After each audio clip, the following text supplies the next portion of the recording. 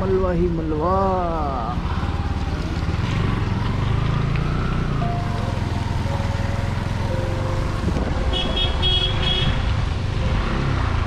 अरे ये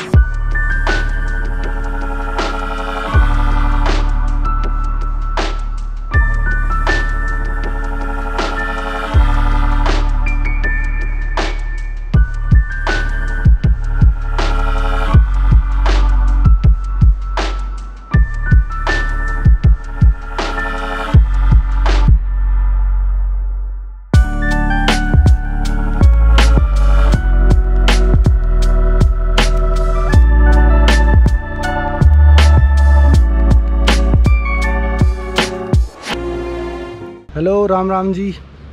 अभी हम पहुँच रहे हैं गौचर के आगे और अभी बज चुका है लगभग एक। तो जो तुमने मैंने पीछे वाली वीडियो दिखाई होगी उसमें तुमने देखा कि वहाँ पे बादल फट गया था। हम हमारे घर के गाँव से लगभग 10 किलोमीटर आगे 10 या 15 किलोमीटर आगे बादल फटा था। नारायण बगड़ और अ, किसके? क्या कहते हैं उससे नारायण बगड़ मीन गदेरे के बीच में जो पंक्ति पड़ता है वहाँ पर बादल फटा था।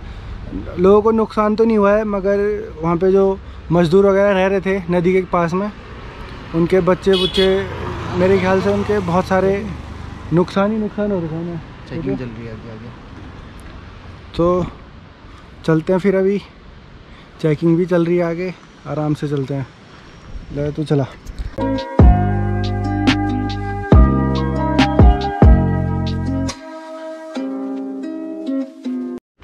तो भाई अभी हम आ रखे हैं धारी देवी मंदिर में। आ रखे मतलब अभी जा रहे हैं रास्ते में। तो सुबह में अपनी बात कंप्लीट नहीं कर पाया था क्योंकि हमें हो रही थी लेट। हम सुबह के सात बजे के निकले हैं घर से।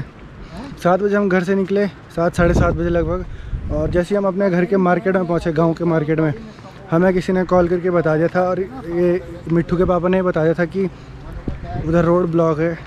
और जो मैंने तुम्हें वीडियो दिखा दी थी तो उसमें क्या हुआ कि बादल फट गया कहीं ऊपर गाँव में और वहाँ से नदी जाती थी तो नदी के रास्ते सारा मलबा जो है, वो सारा मलबा एक तरफ़ आ गया इसमें, रोड में आ गया। तो उसमें बहुत सारी गाड़ियाँ देखी होंगी, तुमने गाड़ियाँ दब रखी थी।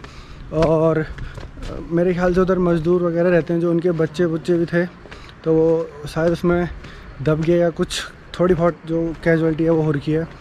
और गाड़ियाँ भी बहुत नुकसान हो रखा है, बाइकें, चार पाँच तो ऐसी पलट रखी हैं, उनके ऊपर पत्थर पत्थर गिरे हैं, क्या गिरा है, पता नहीं चल रहा। और अभी साफ़ सफ़ाई हो रही थी, रोड भी क्लियर हो गई थी तो हम निकल गए। और इसने बोला था कि मंदिर जाना है तो अभी हम दोनों मंदिर जा रहे हैं। तो धारी देवी माँ के दर्शन करते हैं, फिर यहाँ से डायरेक्ट हम देहरादून निकलेंगे।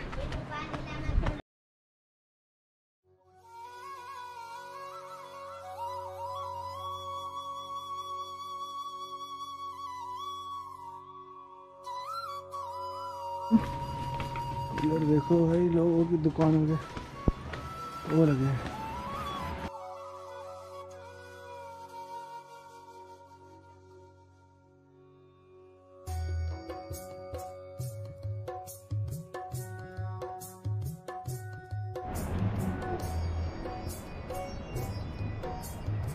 गाँव जाता हो। वो गाँव नहीं देख रहा पीछे।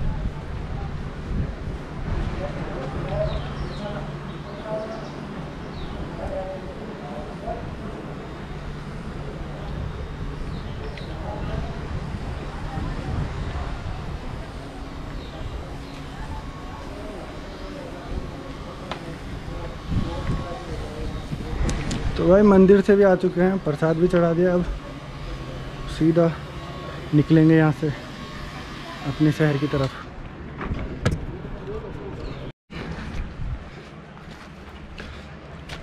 तो हमारी साइड ऐसी बारिश लगी थी और कर्णप्रयाग से नीचे गौचर से आगे आए तो भाई बहुत तेज़ भयंकर वाली धूप लगी है। और रास्तों में जगह जगह चेकिंग हो रही है। अगर तुम लोग देहरादून वगैरह से आते हो, तुम्हारा देहरादून का नंबर है तो ये मत सोचना तुम्हारी चेकिंग नहीं होगी, सबकी चेकिंग हो रही है। अब ये ब्लॉग कितना टाइम बाद आएगा, और तुम लोग कब देखोगे? वो पता नहीं, क्योंकि मेरे पास ऑलरेडी बहुत सारे ब्लॉग पड़े हैं। पहले उन्हें डालूँगा, फिर इनका नंबर आएगा। तो अभी हमारी सॉरी तो अभी हमारी हो रही है चमोली से वापसी, देहरादून के लिए। अपने गाँव को छोड़ के हम फिर से शहर की तरफ़ निकल चुके हैं भाई। तो भाई अभी हम मंदिर पे खड़े हो रखे हैं। थोड़ा पानी वगैरह पिया। अब सीधा निकलना है। लगभग तीन बजे हम श्रीनगर पहुँच जाएँगे।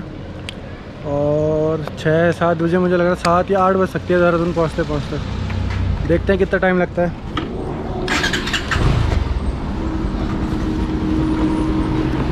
चलते हैं फिर अभी।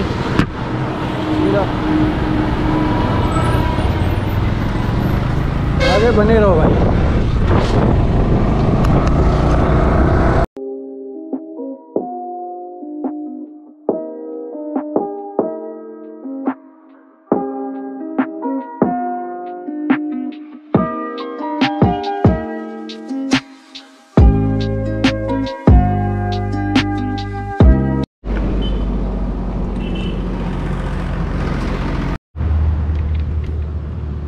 तो भाई अभी हम देवप्रयाग पहुँच चुके हैं और टाइम हो रहा है चार बजने वाली है या चार बज चुकी है, पता नहीं।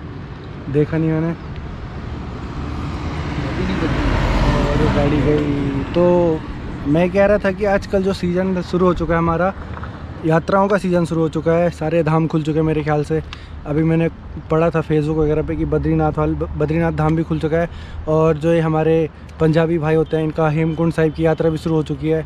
तो ये लोग काफ़ी ज़्यादा मात्रा में आ रहे हैं। भीड़ भी काफ़ी ज़्यादा है रोड पर बाइक वगैरह में आते जा रहे हैं। और अगर कहीं पर तुम्हें दिख रहा है कि लोग खड़े हैं या वो पास नहीं हो रहे हैं तो भाई कोविड टेस्ट ज़रूर करा लेना अपना। कोविड टेस्ट वगैरह, पता नहीं, बहुत सारी रिपोर्टें लेके आनी पड़ रही हैं। परमिशन वगैरह भी चाहिए, अगर बॉर्डर में एंटर करना है। अगर तुम कहीं पकड़े गए तो भाई बहुत बुरे हाल होंगे तुम्हारे। तुम्हें वापस भेजा जा सकता है, तुम पे चालान चुलान, पता नहीं क्या क्या हो सकता है तुम्हारे साथ। तो भाई अपना सेफ्टी वगैरह ध्यान में रख के आना, आओगे तुम तो अभी देवप्रयाग में ही खड़े हैं, थोड़ी देर पहले पहुँचे, थोड़ा आराम कर रहे हैं। इसके बाद तीन धारा वगैरह में खाना खाएँगे, फिर सीधा देहरादून ही रुकेंगे इसके बाद अब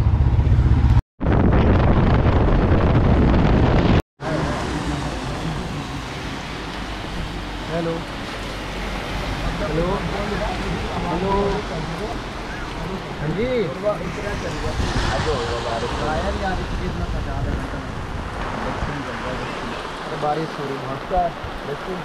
तो भाई, कल रात को ऋषिकेश क्रॉस करते हुए बहुत तेज़ बारिश लगी थी। तो हम भीगते भीगते घर पहुँचे और घर आके मैंने सामान सामान फेंका और मैं सो गया। तो मैं रिकॉर्ड नहीं कर पाया। बाकी अभी मैं अपने घर में हूँ, देहरादून। और ये ब्लॉग यहीं पे ख़त्म करते हैं। अभी मुझे बहुत सारे ब्लॉग एडिट करने हैं। तो फिर इसके बाद अब आगे देखते हैं।